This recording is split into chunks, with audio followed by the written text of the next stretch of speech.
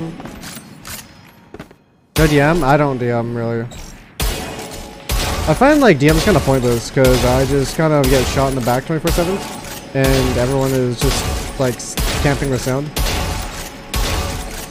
So I'd rather just shoot bots in the range.